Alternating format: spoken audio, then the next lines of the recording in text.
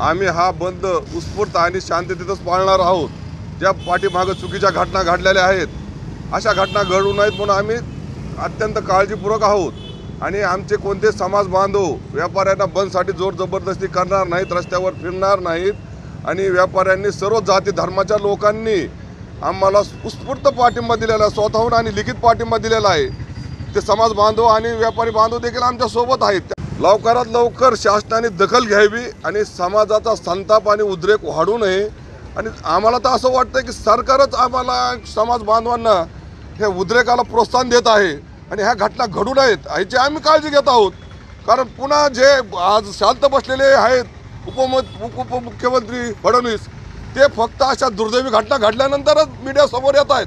आणि फक्त तीनशे सातची भाषा वापरतायत आणि तीनशे प- सातशे गंभीर गुन्हे दाखल करू म्हणून एवढंच बोलतायत. त्याच्याशिवाय आज जारंगे पाटील इतके त्यांची जीव जायची वेळ आली हो.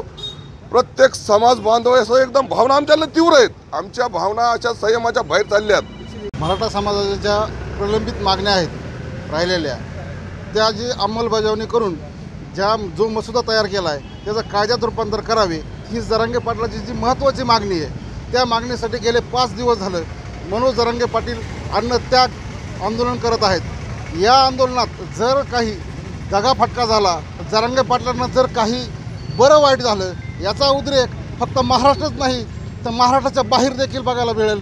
सरकारने मराठा आरक्षणाच्या बाबतीत विशेष अधिवेशन घेण्याचं जे पंधरा आणि सोळा तारखेला नियोजन केलेलं आहे राजकीय तडजोडीमध्ये हे आंदोलन हे अधिवेशन कुठंतरी पुढं ढकलण्याचं कटकार असताना शिजतंय आणि त्या अधिवे हे अधिवेशन घेतलं जावं म्हणून त्यासाठीचा हा इशारा म्हणून आजचा बंद आहे.